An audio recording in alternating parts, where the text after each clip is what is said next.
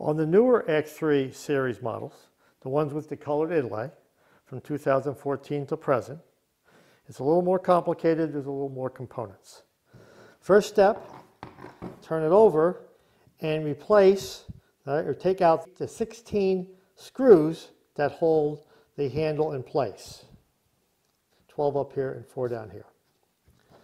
All right, then you can open it up into two pieces and expose the electronic components inside and we're going to take each one apart slowly so you can see how it's replaced. First, the rheostat. The rheostat knob on the outside you must pull off the knob.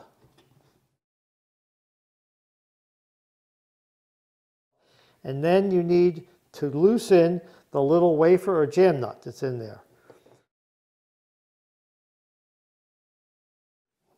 You may need pliers to start it and then it can be done by hand.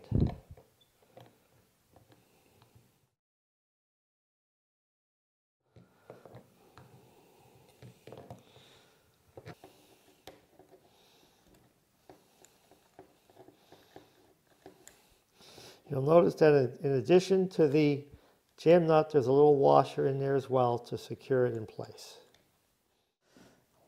Once the rheostat is removed from, from the handle, you then disconnect the connector that's in the housing is on the circuit board itself. Pull straight out. Sometimes they attach a little gum rubber that uh, secures it in place better. There's no need to replace that. It fits in snug enough, it's not necessary. Once you've taken out the old defective rheostat, to replace it with a new one, you reverse the process. Step one is attach the wires with this connector into the housing on the circuit board. Then take the rheostat stem and push it through the frame, turn it over, and then there are three items. There's a rubber washer, a metal washer,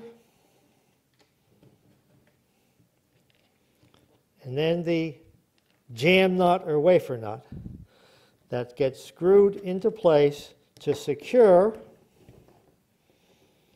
the stem onto the handle frame.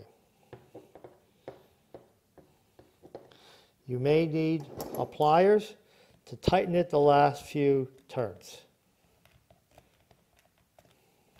And then reapply the knob.